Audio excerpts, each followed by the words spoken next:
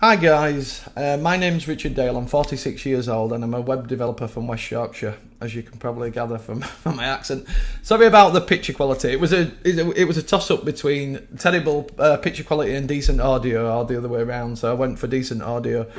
Um, so just to give, like I said, I don't really want to sort of repeat what everyone else has said. I know we we all sort of saying the same thing because I know we all feel the same about this absolute lunacy that's going on at the moment. But I have, I think I have got something slightly unique to say. Um, so just to give you a little bit of a background, you know, like like many people have said, right at the very beginning, you know, I was very much on board with the lockdown strategy. I, I thought it did make well, it, not that it made particular sense, but I just felt like it was like the only strategy really. Um, but I don't know. There was just something really early on. I remember having a conversation with a colleague of mine, and we both sort of said that there just there was just something about it that just didn't feel quite right. Um, but I couldn't quite put my finger on, on what it was.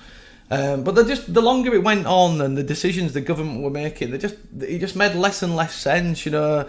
And then I very quickly started looking into it myself, and I came across uh, one of the first sources was um, Toby Young's excellent lockdownsceptics.org which I'm sure um, a lot of you uh, will probably read on a daily basis.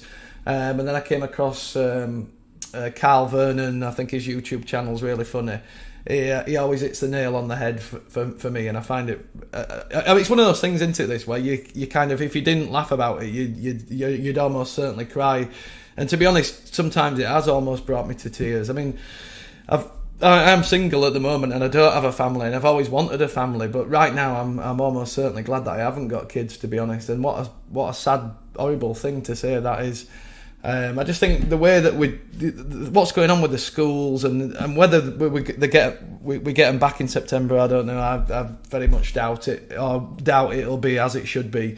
But seeing young children in masks and when you they like avoid you in supermarkets and stuff it's just it's just awful to see I mean, fortunately, um, my mum's sort of on board with this, and she totally agrees with, with us. And you know, she just thinks it's a massive overreaction. And um, but unfortunately, my uh, my dad doesn't, and he's very much like a, a mask wearer or a, a muzzles wearer, as we as we call them, and I'm sure many of you do.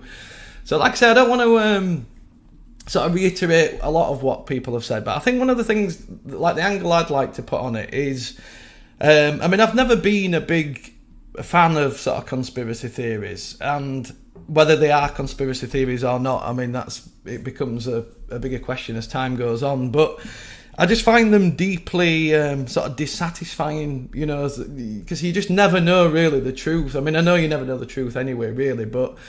You, I just find like you just go down a rabbit hole and it just opens another can of worms, and I just find them really sort of dissatisfying. So I've tried to not let myself go down that road. Um, but I think as well, it's it's not. I'm not saying it's irrelevant, but I think that's one of the mistakes a lot of people who think like us uh, have made. I know when there's been a lot of these protests. Um, I remember there's been a few where um, Piers Corbyn's been there and a few of the others, and I think the minute people start mentioning like Agenda 21 and Lockstep and you know all this sort of thing and anti-vaxxers and you know all the thing, the 5G and all this kind of thing, and whether that's true or not, some of it I think probably isn't, and some of it might be. I mean, I've, I've I've looked into some of it, and some of it I don't find overly convincing, if I'm being totally honest. And I don't know if it's just because I don't want to allow myself to believe it because it's so horrible. Um, but I think largely that's not not irrelevant, like I say. But I think we need, just need to box clever because I think one of the things that's really disappointed me when I've seen a lot of these protests is they've all carried like signs like 5G and Agenda 21 and Plandemic and sheeple and all. I don't like that term sheeple either. I know it just don't and I, and I just think it, all we do by doing that is just make it so easy for people just to say oh you know they're just right-wing extremists and you know the conspiracy theorists and they're all mad you know just ignore them and I think that's the mistake uh, um, we're making really. I think we'd be far better, you know, avoiding all those sort of things and, you know, avoid anything that people can just write off as a conspiracy theory and just concentrate on the things that we know for a fact. You know, it's been obvious for months that the lockdown's causing far more harm um, than it is good. And it's, I mean, it, I was listening to talk radio tonight and there were a couple of uh, journalists on there and they were on about the herd immunity strategy. And this left wing guy was sort of saying, "Oh, it's just allowing um, old people to die," and it's like, well, what do you think a lockdown strategy does? You know, that you know, millions of people will die because of this lockdown, especially in the developing countries. You know, it's just, it, I, I, just find it insane that we're still in this lockdown. In, uh, it's just, I mean, I live in Kirklees as well, which is still in under some degree of lockdown, although most people I know have completely ignored it. So all it served to do is completely wreck business even further. But like I said, just going back to my point, I think I think the key point from this video that I'd like to uh, like like people to take away is like like just box a bit clever.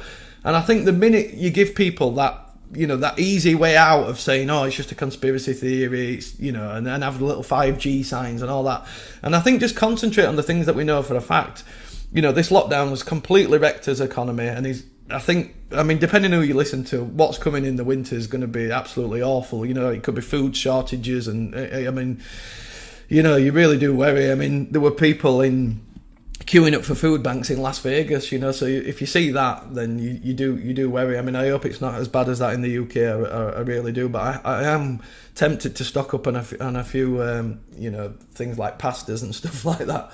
Um, but yeah, just going back to that sort of central point, I just think, you know, try and box a bit clever, you know, concentrate on the things that we know for a fact, the wrecked economy, we're not educating as children, you know, think of how many deaths are going to be caused from undiagnosed cancers and all other things. I mean, like a load of people have said, the NHS is pretty much dead at the moment, you know. You, they're not servicing anyone. Dent, the, you know, even the dentist. You, I mean, I, I need a filling, and you know, it's just impossible to see a dentist without the crazy social distancing and all the other crap that we're having to endure at the moment. Um, so like so so that'd be my take from this. You know, rather than focusing on the conspiracies or possible conspiracies, concentrate on the things that we know for a fact that we've definitely lost. I mean, it annoyed me the other day when my because my dad, like I say, he does wear a, a, muzzle as I call them when he goes shopping, and he said, "Well, he hasn't. He's, he's retired. He's in his early seventies, and he said, "Well, it hasn't particularly affected me." I said, "Well, of course it has." Uh, my brother's a chef. He's not worked since March, so they're having to support him, pay his rent. You know, they're really into the dancing. They've never, they haven't been dancing since there. You know, they haven't been on holiday. They love the holidays. It's affected their lives in loads of ways. You know, they can't, they, they couldn't go to the pub for ages. They couldn't see their friends. But it just goes on and on. You know, so when I pointed these things out to him, he was like, oh, well, yeah, I suppose it has affected me. You know, so it's just like, of course it's affected you. It's completely affected you. Um, so yeah, so like I said, I think we just need to box a bit clever, try and get these messages home, but don't focus in on the, you know, the things that are just a bit too easy to write off as conspiracy theories. Um, you know, box clever. Let's try and change a few people's minds about this because I think, I mean, I, I, thought one. I'll just end on this. I mean, I thought this was absolutely fascinating. I don't. I, I, probably a lot of people listen to talk radio and the conversations that have been taking place between Peter Hitchens and Mike Graham. And I know Mike, as the week weeks have gone, gone on, at the, at the, start, Mike was sort of very much, I wouldn't say, well, yeah, I suppose he was pro lockdown, really, and sort of thought it was the only way, you know, the only way that we could go. But as the weeks have gone on, he's agreed with Peter more and more. I mean, you'll know that Peter's a massive advocate of, um, well, you know, an anti-lockdown, well, complete lockdown skeptic. Um, and as the weeks have gone on, he's sort of managed to convince Mike, and they, they pretty much totally agree now. But I went and watched some of the early videos last night on YouTube, and it was amazing how right Peter was, you know, and he's just been saying the same thing. He's been so consistent as Peter Hitchens. And uh, those videos just haven't aged well at all for Mike, you know, and he's just, you, you know, I mean, uh, not that he knew at the time, obviously, but um, they just don't age well those at all. And um, you know, sorry to say that Peter was just completely right. And uh, I just, I'm just so so thankful that we have got people like Peter Hitchens because um, he's about one of the only people at the moment. Um, that is speaking sense. I mean, the media have just been an absolute disgrace. I've just cancelled my uh, TV license because of it because I just just been so biased. I mean, it's just it's just so unfair. I mean, just just to end on this, and I could, like a lot of people, you could just go on for ages, you know. Um, but like one of my mum's friends, she's in her early seventies, and she just won't dare go out. She's just been scared to death because she hasn't got any family to give her like a, you know, a counter to what's what she's hearing in, on the BBC basically. And uh, my mum's, you know, she's really good friends with her, and she won't even meet her for a coffee, even in a park, you know, with a flask. And it's just so sad, you know, in the, the autumn of her life, she's in her early seventies not really in the autumn, but you know, get you know, obviously she's no spring chicken in seventies, but nothing, nothing wrong with her. Perfectly healthy woman. you know, but she just won't dare go out, and it's just so sad, you know. It's, and, and I hear a lot of people go, you know, talk about like next year as if like in 2021 it's gonna everything magically it's gonna go back to normal. It's just like no, you know, wake up now. If we don't take a stand now, stop wearing these ridiculous absolutely inhumane masks and because one of the things with the masks as well i think some people it really annoys me when people just say about the masks that it's not it's not much of an imposition to wear a mask you know it's just a piece of cloth. It's like well no to wear a mask in isolation isn't isn't much of an imposition. Yeah you're right. But it's what they stand for it's what they symbolize and to me they symbolize you know that that you support the government and the the ridiculous decisions that they're making. And I won't do that. And I think that's one of the clearest things that you can do is don't wear a muzzle because it shows when, when you don't wear one you know it shows that you're not supporting the government. And I think that's one of the clearest messages you can send. I think the, the sooner they get that message that we're not you know, just going to sit back and just let us watch his lives just disappear down the drain and oh, way of life, sorry um, you know, the quicker they get that message, the better. So anyway, this video's gone on now for 11 minutes, and I've probably gone a little bit rambly. Um, but if I re-record it, I'll probably almost uh, certainly just do the same. So I'll end it here. So thanks very much again for the opportunity, and let's stay strong. Keep those messages clear, and don't don't make it easy for people to just write them off. Okay, cheers, guys. Thanks a lot.